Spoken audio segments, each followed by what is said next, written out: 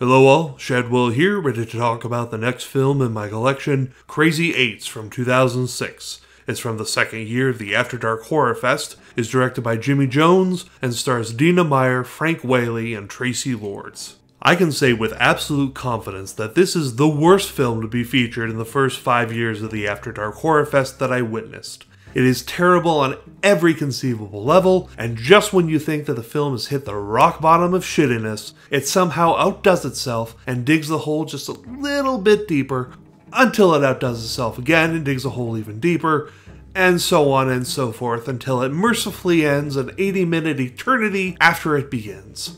I can find absolutely no information on any of this, but here's what I think happened with Crazy Eights. It wasn't even originally slated to be in the second Horror Fest. It only took the place of Frontiers a week or two before the Horror Fest because Frontiers couldn't or wouldn't lessen its NC 17 rating and so couldn't be shown theatrically with the other films. So, what I think happened was the producers of Crazy Eights received a call saying if they could get their film finished in two weeks, they could be in the Horror Fest. I say this because everything about this film feels rushed or unfinished. The editing is lazy and completely without style, the score sounds temporary at best, and at times doesn't even match the on screen action, and the opening titles are a boring single font that plays quickly on a simple black screen.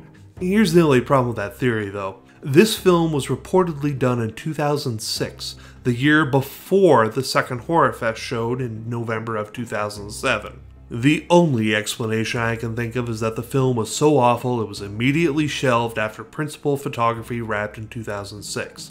Then, a year later, when Horrorfest was short of Frontiers, they said, Hey, isn't there a shitty horror film out there that just needs some post production and then it'll be ready to go? And some idiot thought of Crazy Eights. It's so terrible they couldn't even squeeze out any half ass extra features from the film onto the DVD. I cannot stress enough how terrible this film is, and that's hard to understand when it has good actors in it like Frank Whaley and George Newbern, but boy oh boy does Traci Lords prove she can't act her way out of a softcore porn paper bag with this film.